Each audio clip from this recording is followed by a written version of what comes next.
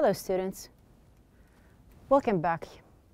We are going to start with just a very quick revision on what we had uh, last week. We ended our unit, Unit 5, which was uh, the title, Do You Really Need It?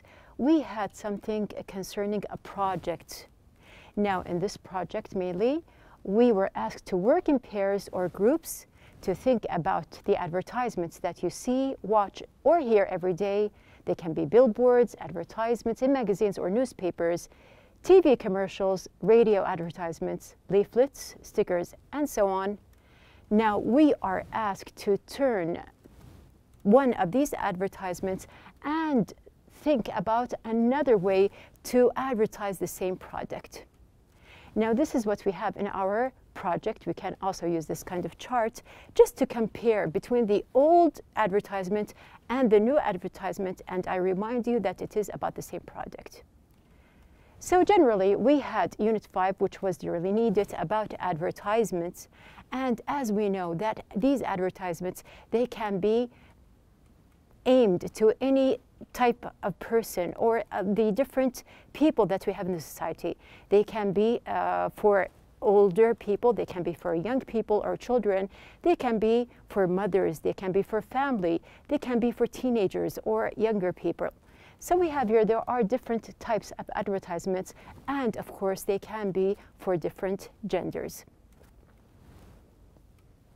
Now we are going to move on and we are going to see our new unit, which is going to be the last unit, inshallah, that we have here. And we can see that we have here these different genders. Now you can see that there are different ways to just introduce the gender here or the type, and we are familiar with the different icons that we have here we have Unit 6, which is the title, The Gender Divide. And in this gender, which is going to be the last gender in the unit, we have related between the types of advertisements and what can be related to the people in the society. Specifically, we are going to talk about the topic of genders. So moving on, we are going to start with the first lesson, which is listen and discuss now we do have these two symbols. We know that one is used for female and the other symbol is used for male. We have our question. In what ways do you think men and women behave differently? And we do have another question here. In what ways do you think their behavior is similar? So you can see that we have here once the verb, which is behave, and then another time we have the noun, which is behavior. Now we are talking about the similarities and the differences in behavior between male and female. So what do you think about it? We have our question here. Do you think there are more similarities or differences? So when you think about how each gender behaves, and once you have thought about the male behavior and the female behavior, what do you think? Do they have more similarities or do you think that they have more differences? So this is a question just to put in mind. We have our objectives for the day. We're going to start with number one, differentiate between genders. Number two, to give personal thoughts about each gender based on character. Number three, to infer the meaning of new vocabulary through context. And number four, to answer questions. So we are going to start our lesson with a very short conversation here. Now you can see that we have these two females. Now we have here Sandy and Amal. I want you to listen to the short conversation that we have between them. So let's start. I think women talk much more than men. That's just a stereotype. Though I do think women talk more than men about certain things. Like what? Women like to talk about their feelings, but men usually don't. Men rather talk about sports or cars. Typical. Now here, Amal, she sees that it is very typical that men like to talk about sports or cars. Here, this short conversation shows that there is a difference between the two types. Now we are going to go more and throughout the unit, we are going to think about the differences. Now, do you think you know a lot about men and women? So if you still don't have the complete idea, we are going to pass by true or false statements. Just put in mind that you are going to read these statements and put in mind the answer that you have, your personal thought. And after we finish our lesson, we're going to see if these statements are still the same that you have in mind. Now starting, we have the first statement here. Women talk more than men. Do you think it's true or false? The second one, women tend to worry more than men.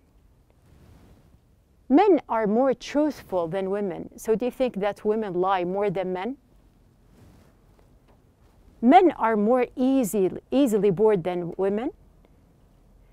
Women have a greater tolerance for pain. Women live longer than men. So here, this is the same chart or the same table that we do have in our book. You can just, with a pencil, check which one do you think is true or false. And as we said, we're going to go back and revise our answers at the end. So moving on with our lesson, we have here, we're going to check afterwards.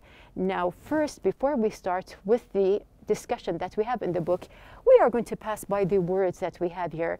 And actually, I'm going to just show you the exercise that we have in the book. We have the exercise page number 83.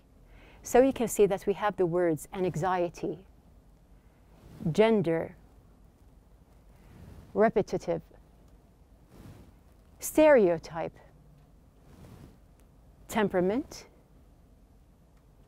capacity, intensity, restless, and tedious. Now here we pass by the words and just to give you a hint, now we do have these pictures. You can see that there are different pictures that we are going to go pass by also in the lesson. So just to have a very quick look at the pictures here and have an idea about them, we can see that there is a person. This person is once, he looks sleepy, the other time he looks a little bit worried, and we can see that he is bored in the third picture. We can see that we have this kind of symbol we have these bottles or liquids in the bottles. We do have different moods here, you can see. We have something which is very clear, the symbols for each gender. We have a child eating fruit and vegetables. And we do have the fist here or the hand which shows some kind of power. Now, moving on with our lesson, we are going to just go by, by these questions, which are the comprehension question that we have here also in the book. Now, we do have these questions, page number 83. We are going to answer these questions while we are passing by the discussion. So moving on, we are going to start on page number 82 and 83 in your book. So let's start. Now we have two questions here. We have the first one, how much gender difference is there in speaking? We have the second question, what is the average of words men and men, women and men can speak a day? So passing by here, we can see that we have here the common stereotype that women talk more than men is wrong. Now put in mind the statements that we have in the true or false. So here basically we can say that how much, very little difference between them. And moving on, we can also highlight another point here, which is some research suggests that men tend to speak more than women in formal settings and that women speak more in informal situations. So we can see that it is not true that women speak more, but they may speak more informally. So to going back to our answer here, we can read the rest and see that the average words for each man and woman who speak every day, the average is going to be 16,000 words. Now we do have two words from the words that we mentioned in the vocabulary part. We have the first word, which is stereotype. Now relating to the picture here that we have here, there's an idea that children basically they do not like to eat vegetables or fruit. Now this is just a stereotyped idea that we have here. Now we can say that stereotype is a widely held but fixed and oversimplified image or idea of a particular type of person or thing. So it's just an idea that people put in mind about a person or a thing. Also, we do have another word here. We have the word gender that we have already discussed. Now we can say basically that it can be referred, the word gender, to either one of the two, male and female, especially when considered with reference to social and cultural differences rather than biological ones. Moving on, we have here the second part, why do women worry more than men? We can say that studies show that women worry more frequently than men. So how is that? We can say that we have here women's brains produce less of a brain chemical called COMT, which controls anxiety. We do have one of our words, which is the word anxiety that we just mentioned. And you can see from this young man here that he for sure has an anxiety, which means here basically a feeling of worry, nervousness, or unease, typically about an imminent event or something with an uncertain outcome. After that, we have the question why are women more likely to lie? And why do men lie more often? So, what do you think about the statement that we said? Who lies more? We can see basically that women lie frequently and men do too. So, here we can see that it is an equal answer, but women try to not hurt a person's feelings and to avoid a conflict. That's the reason why they lie. On the other hand, we do have something about men more often lie in order to make themselves seem more impressive. Now, moving on, we do have do men like to do tasks. So we have discussed about speaking in general. We discussed the topic about lying, we mentioned it, and also we have here about doing tasks in general. So we can say that do men like to do tasks? We have here studies show that men have more restless temperaments than women. Now we do have the word restless here. We can see that this young man, he is restless, meaning that we have here unable to rest or relax. Also, we have the other word, which is temperaments. Now here, when we said that there are different moods, actually, these are different temperaments. Now, these different temperaments means that we have different types of nature. A person's or an animal's nature, especially as it permanently affects their behavior. So each person has a nature, a special nature, which affects his or her uh, uh, way of behavior in general. And we can say also that this word can be used with animals. Now, moving on, do men like to do tasks? So we have the answer no, they don't. Then we have another point here. It is speculated that women do better in these situations because they have a greater ability to keep their thoughts and imagination active. So this is the reason why we have here women are better in doing tasks. We have the word capacity mentioned also in our vocabulary part. So we have here capacity, as we can see in these bottles, the maximum amount that something can contain. And actually, even people, each person, they do have different capacities to handle pressure, to handle uh, heavy types of uh, tasks that we can uh, have or we are supposed to do. So we have here the word capacity can be used also with people, as we mentioned. Also, another word mentioned here is the word repetitive. Now we can say that something is going on and on, it is repeated. So we have here containing or characterized by repetition. The last word that we have here, which is from the vocabulary part, we have the word tedious. Now, when we see this young man here, we can see that he is basically bored so we have the word tedious here is too long, slow, or it can be dull. Now moving on. Why do women have lower tolerance for pain? So some people, they feel that women have the greater ability to tolerate with pain.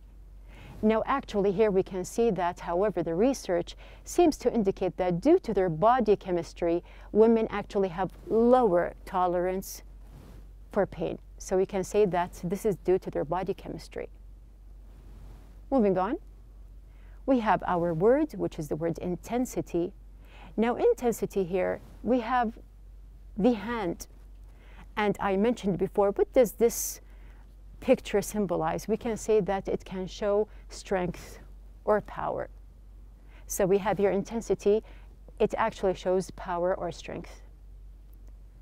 Now we have in our last part here, what is the average life expectancy in the US? We can see from the highlighted part that it is about 79 for women in general and only 72 for men. Now we have finished our part here. Just to check our answers, we can see that the first statement, what did you think? So did you answer, is it true or false?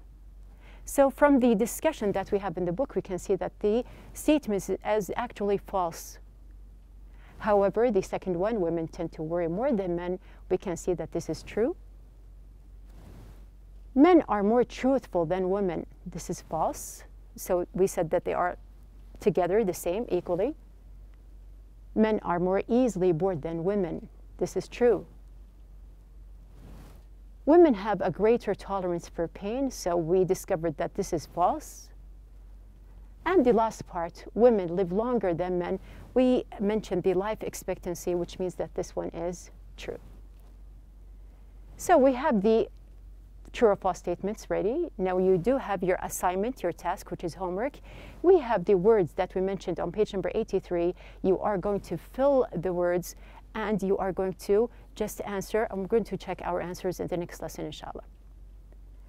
Now we do have our comprehension questions on page number 83. So just to revise the answers that we did mention throughout the discussion, we have the first one, in what types of settings do women tend to speak more, we can see that women tend to speak more in informal settings, as we mentioned. What causes women to worry more than men? We can see that we have here women's brains produce less of a chemical that controls anxiety than men's brains do. We also mentioned the third answer here, which is question number three.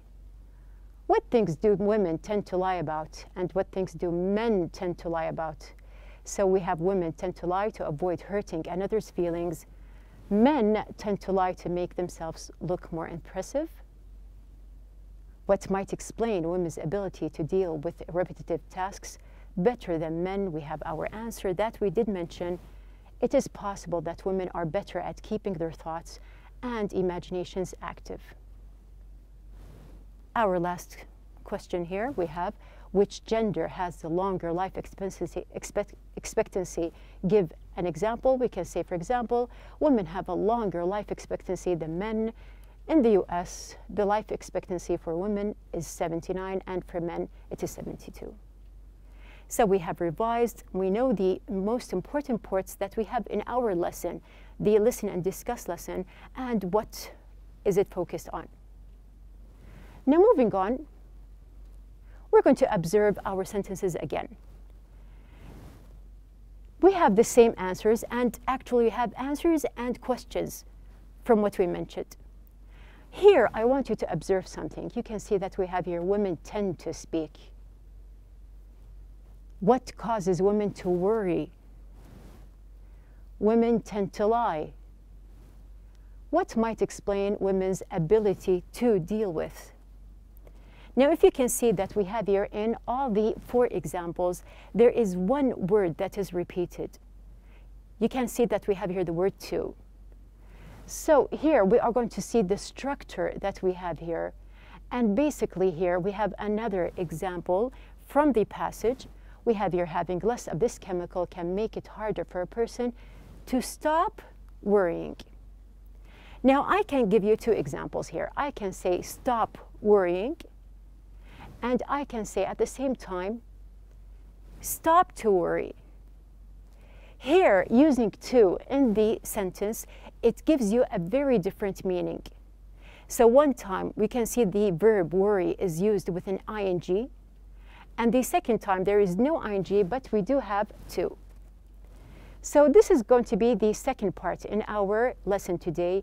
We are going to focus on the infinitive and also on the gerund that we have here.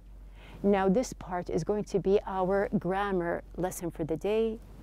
We are going to pass by the grammar lesson as well as the listen and discuss that we have. We are going to see our objectives. So number one, to deduct the grammar rules from sentences. Number two, to differentiate between infinitive and gerunds. Number three, to apply the correct grammar form with the verbs forget, stop, regret, try, and remember in sentences depending on meaning. We have number four, to use the passive form of the structures. And we have number five, to use auxiliary verbs to shorten sentences. Now you can see that we have a lot to do, but actually it is all together, it is combined. So we are going to start first by just differentiating. We have the verb. It can be either a gerund, as we mentioned. Now we do know that the gerund here, as we had the example, stop worrying, is the ing form of a verb that functions the same as a noun. So when I have the ing sometimes with the verb, it turns totally from the form of a verb to the, a noun. So it looks like a verb, but actually it is a noun. We have here an example. Running is fun. Now you can see that we have here running as an example. Running here is a noun, although it looks like a verb. So in this sentence, running is the gerund. It acts just like a noun. So it is not a verb, it acts like a noun. This is why we call it a gerund. On the other hand, we have the infinitive. Now you can see that the infinitive, on the other hand, is a verb form, but doesn't act as a verb. It acts as a noun, an adjective, or an adverb. To see that we have an example here, I love to swim. These two words act together as a noun, adjective, or an adverb. So love is going to be the verb, but I do have to swim as the noun, the adjective, or the adverb. So basically, it depends on the sentence. Now, we have the two types, which are the gerund and the infinitive. We are going to see the different meanings that each one implies. If the verb functions as a verb, what is the verb in the sentence? Where is the verb? So we are going to see five verbs. We have remember, forget, try, regret, and stop. Now put in mind that we are going to focus on these five verbs that we have here. These five verbs, they do have a direct relation with either a gerund or an infinitive. So we have here our idea. Now they come before the gerund or the infinitive and note that we said before. Now for example, let's just see the difference in meaning. He remembers to send his grandparents a gift on special holidays. You can see that we have here remembers to send. So we have the infinitive here with the verb remembers. Now this means that he remembers to do a task, he doesn't forget. On the other hand, we have here he remembers sending gifts last night. You can see that we have remember with sending, which is the gerund here. And here it means to remember have done something in the past. So you can see that there is a task that I want to do, and the other sentence or with the gerund, it's something that I remember doing. Note that we have here remember, it can be used in the present past, the present simple, or the continuous. It depends on the sentence. So we have remember. Here, he sometimes forgets to take his vitamins.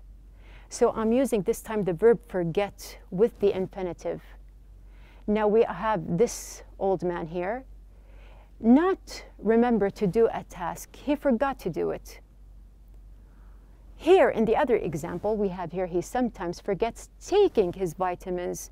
Now we have here the verb forget with the gerund, and here we can see that not remember having done something in the past. So in the first one, we know for sure that he had forgotten to take the vitamins. But in the second example, we can see that he forgets taking. He doesn't remember, did he or did he not take the vitamins? Moving on to the third verb that we have, we have the verb stop. Now we'll stop with the infinitive. We have here an example. He stopped to watch the sunset. You can see that this time we use the past. So which means that we have here this young man here to stop doing something in order to do something else. So let's say that he was just walking and then he stopped walking or going his way to just watch the sunset. The other example, he stopped watching the sunset. We have here stopped with the gerund watching. We can see here that he stopped the action of watching and he completed another action. So you can see that there is a very clear difference in meaning. We have the same verb stop, but with the infinitive or the gerund, the meaning is different. Moving on, we have here the verb regret. I regret to tell you that I have a secret. Now you can see that we have here the word regret, which means that I have a feeling of being sorry. Or sometimes I just have to feel that I am I don't want to do something or actually it has been done and I feel sorry for doing it. So in the first one, using with the infinitive, I regret to tell you that I have a secret. So here you have the meaning that I wish it wasn't necessary. I am going to tell you my secret, but I don't feel it is, or I wish that it isn't necessary. Here, the, the second example we have here, I regret telling you my secret. We use regret with the gerund, and from the meaning, I wish it were possible to undo something. So it has been done and I regret doing it. So you see the first example, I regret to tell you, I am going to tell you, although I don't want to. On the other hand, we have the second example, I have done my action and I regret it. So we have, this is the verb regret. We have the last verb, which is try. Now using try with the infinitive, I tried in the past to reach them, but I couldn't. Here you can see that there is an attempt to do something. So I want to contact someone. I tried to reach them, but I couldn't. I tried several ways to contact them. When I use the other example, I tried reaching them by email. Here, using try with the gerund, try a specific method to reach a goal. So I have tried the first time to try different ways, but when I use the gerund here, I am making it specific. So I tried reaching them by email. Now you can see that we have used the five examples here, or the five verbs with both the infinitive and the gerund in different examples. You do have your exercise, which is on page number 84. Page number 84, we have circled the correct form in each sentence. So I'm going to just do three sentences with you to just understand the exercise here. Did you remember to shut or shutting the window before it started raining? So we're talking about something that happened in the past. Did you remember to shut the window? Did you do the task? He stopped to play playing football after he hurt his knee. So we have something that is, is continuous here. So it's not just one action that I'm going to do and then I'm going to complete or stop doing. It is something for a long period. So here we have here, he stopped playing football. Number three, if you haven't been able to get an answer from the boss on the phone, maybe you should try to send or sending him an email so like the example that we just explained, you are doing something in specific here, which means that we have here sending. Now we do have some other things to observe. We're going to observe more. Now we did mention that we have here the gerund and the infinitive. We mentioned the basic part, which is using them with five different verbs. Now we are going to observe here these sentences we have here. You are more likely to be told a lie by a man for a different reason. We have another example. They dislike being asked to do such uh, tasks. So you can see that we have here be in both examples. One time it is like the infinitive. We have here to be told. And the other, mon- uh, the other example we have here, be is like the gerund. There is an ing, being asked. Now, when you see these two examples, do you know who is actually the subject or who did these things? You are more likely to be told. Do you know who told you the lie? No. And in the second example, they dislike being asked to do such uh, tasks. Do you know who is doing the asking here or who asks? No. So we do know that we are going to use the infinitive and the gerund, but this time we are going to use it with the passive because we do not actually know who is doing the verb. So, moving on, we have here passive forms of infinitives and gerund. The passive form of an infinitive is to use to because we are dealing with the infinitive, but specifically with the verb be and the past participle. For example, we have here everybody wants to be respected by somebody. We have here wants to be respected.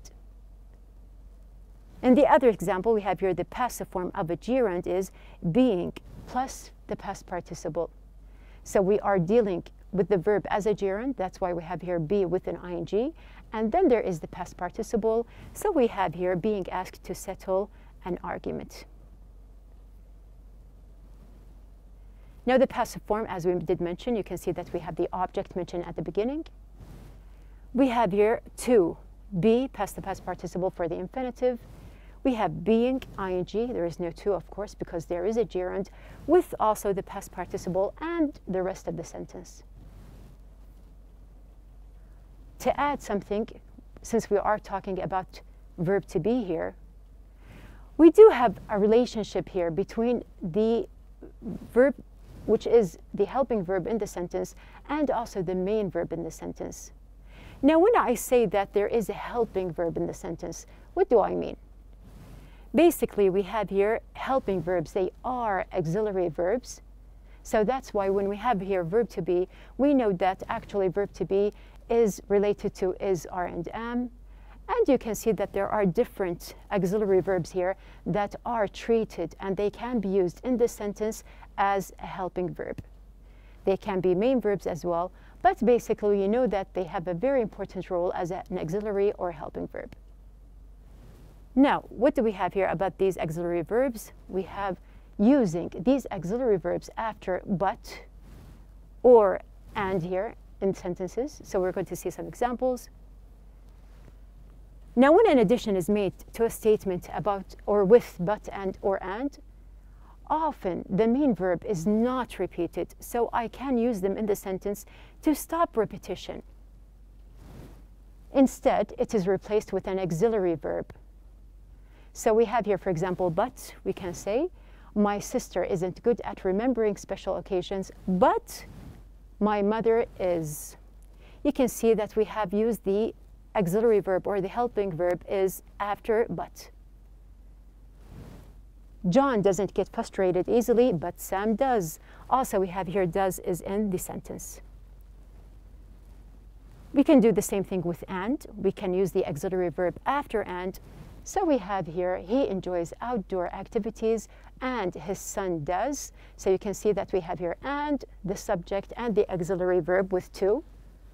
And if it is a negative sentence, we have here, we don't like going for walks in this heat and he doesn't either. We have here either in the sentence because we are dealing with a negative. Now you do have some exercises on page number 85.